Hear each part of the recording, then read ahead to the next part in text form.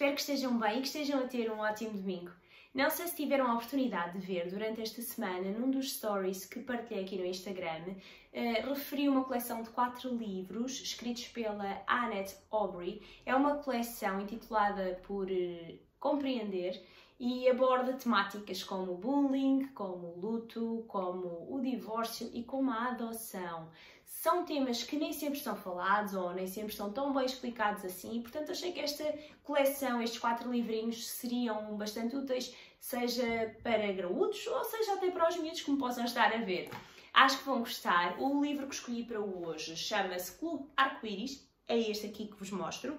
A editora destes livros a editora Girassol e vamos então dar início à leitura de hoje. Esta história de hoje começa assim. Ana e António eram muito amigos. Adoravam procurar coisas novas que pudessem fazer. Amanhã, quando formos ao Jardim Zoológico, vamos fazer uma equipa verde. Amanhã vamos vestir as nossas roupas verdes e ser amigos de todos os que fizerem como nós e só usarem verde, aqueles que jamais se vestiriam de azul.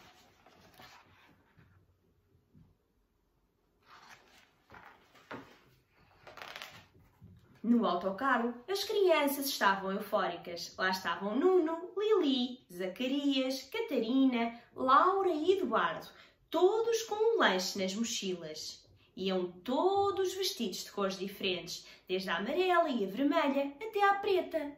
Todas as cores do arco-íris, nos braços, nas pernas e nas costas.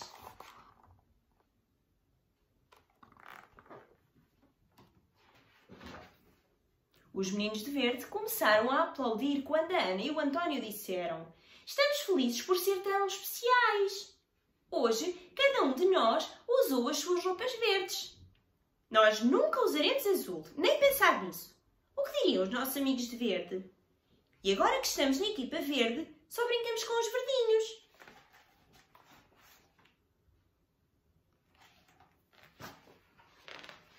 Algumas crianças, como a Susana, o Augusto, David, Maria e Bernardo, que nunca se tinham vestido de verde, sentiram-se excluídas e ficaram profundamente tristes. Mas os que se sentiram mesmo horríveis, os que se sentiram mesmo muito mal, foram os meninos vestidos de azul. E olhem que ainda havia alguns meninos vestidos de azul.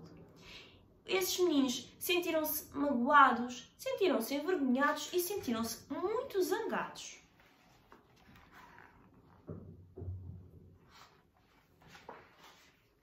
Foi estranho ver o que se passou. Foi uma das coisas mais esquisitas que alguma vez viste.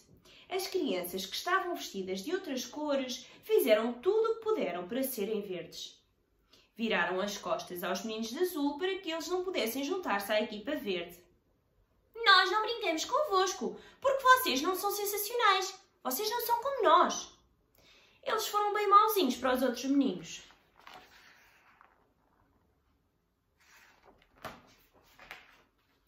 Conseguimos perceber que a viagem ao jardim zoológico começou mal e, em vez de brincarem juntos, os colegas estavam a afastar-se uns dos outros. Foi tão estranho ver e ouvir aquilo. Como é que as coisas tinham chegado tão longe? O que os meninos diziam e faziam era horrível, era chocante e era muito duro.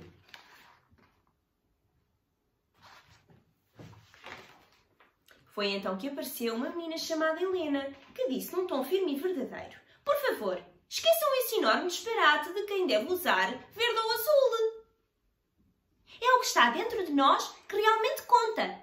Quem se importa com o nosso aspecto ou com aquilo que fazemos. Não podemos esquecer que somos todos especiais e que devemos ser amigos uns dos outros.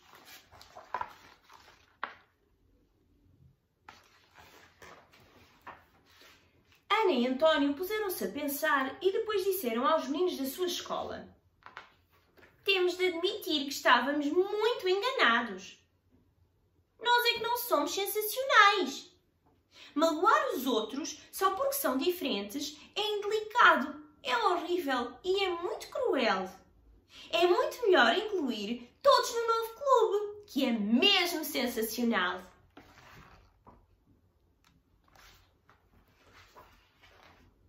Os companheiros de viagem suspiraram de alívio ao ouvirem o que os verdinhos tinham para dizer. E todos sorriram e concordaram que eram todos sensacionais.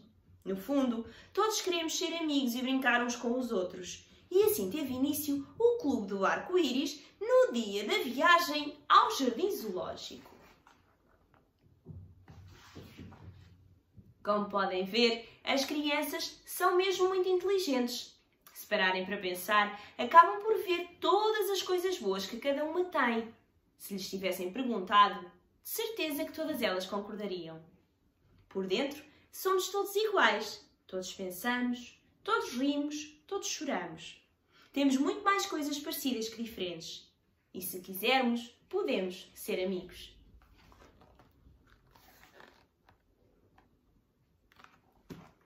A história de hoje termina assim, com esta mensagem, com esta lição de que na verdade aquilo que importa mesmo é sermos amigos uns dos outros. Pouco importa, na verdade, o que aparentamos eh, ser, a forma como nos vestimos, a forma como somos fisicamente, se usamos óculos, se usamos aparelho nos dentes. Eu não tenho, mas poderia ter, como vocês aí em casa também, certamente alguns de vós terão. Sejam óculos, seja aparelho, seja um aparelho auditivo, sejamos nós um bocadinho mais magrinhos, um bocadinho mais gordinhos, enfim, todas as diferenças fazem de nós seres especiais e únicos. Isso sim, se todos nos portarmos bem uns com os outros, se formos amigos, genuinamente amigos, e nos preocuparmos sim em ajudar o próximo e a brincarmos, quando somos crianças, com os outros meninos, sem excluir nenhum deles. Mando-vos um grande beijo, espero que tenham gostado do livro de hoje e até depois!